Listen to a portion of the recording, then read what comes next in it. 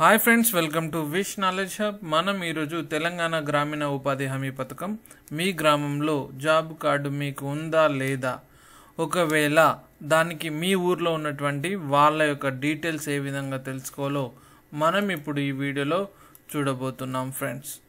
మీలో ప్రతి ఒక్కరు కూడా ఈ విధంగా చేయండి. ఇక్కడ చూసినట్టయితే గూగుల్ సర్చ్లో కానీ లేకపోతే NREGA dot Telangana dot gov dot in అని మనం మెయిన్ బార్లో ఎంట్రీ చేయగానే మనకు ఇదొక అఫీషియల్ పేజ్ అయితే ఓపెన్ అవుతుంది friends.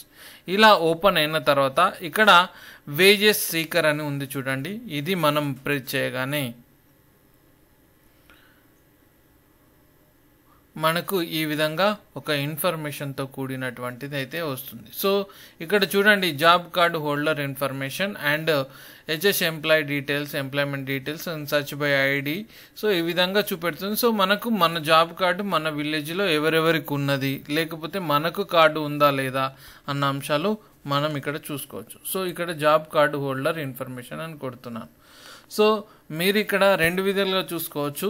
So district and mandal and gram panchayat and village select చేసుకోవచ్చు. అలా అలా కాకుండా ఇలా గో అని ప్రెస్ చేయగానే మనకు ఈ విధంగా ఓపెన్ అవుతుంది. ఇక్కడ తెలంగాణలో ఉన్నటువంటి ముప్పై రెండు డిస్టిక్లకు సంబంధించిన మొత్తం ఇన్ఫర్మేషన్ అంతా కూడా ఇక్కడ ఉంటుంది. సో మనం ఇప్పుడు ఒక ఏరియాకు సంబంధించి చూద్దాం. నేను ఇప్పుడు ఒక జగిత్యాలకు సంబంధించి ఇన్ఫర్మేషన్ అయితే సెలెక్ట్ చేశాను.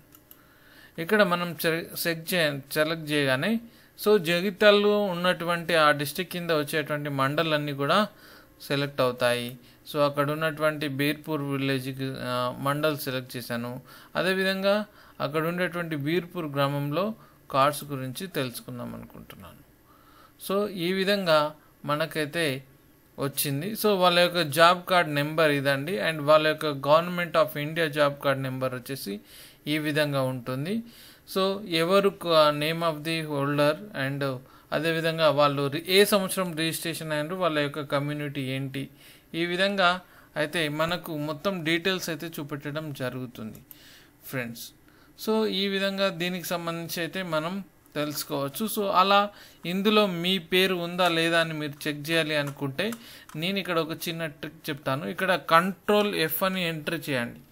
ఇక్కడ మీకు ఒక బాక్స్ అయితే వస్తుంది ఈ విధంగా. ఇందులో మీరు ఎవరి పేరు కావాలో వాళ్ళ పేరు అయితే మీరు ఎంట్రీ చేయండి. మీ యొక్క నేమ్ ఉంటే నేమ్ ఎంట్రీ చేయండి. నేను ఇక్కడ నాకు తెలిసిన ఒక నేమ్ అయితే ఎంట్రీ చేస్తున్నాను. సో ఇది స్పేస్ లేకుండా చూడండి. స్పేస్ ఓకే సో ఇక్కడ చూడండి ఇలా ఈ విధంగా పేరు అయితే రావడం జరుగుతుంది. సో మీరు ఈ విధంగా చేసినట్టయితే మీ పేజీని మీ పేరును కూడా ఈజీగా ఫైండ్ అవుట్ చేసుకోవచ్చు. ఫ్రెండ్స్ ఈ వీడియో కనుక మీకు నచ్చినట్లయితే లైక్ చేయండి. అండ్ ఇప్పటివరకు మీరు మా ఛానల్ని సబ్స్క్రైబ్ చేయకపోతే ప్లీజ్ సబ్స్క్రైబ్ చేసుకోండి మా యొక్క లేటెస్ట్ అప్డేట్స్ కోసం. Thanks for watching.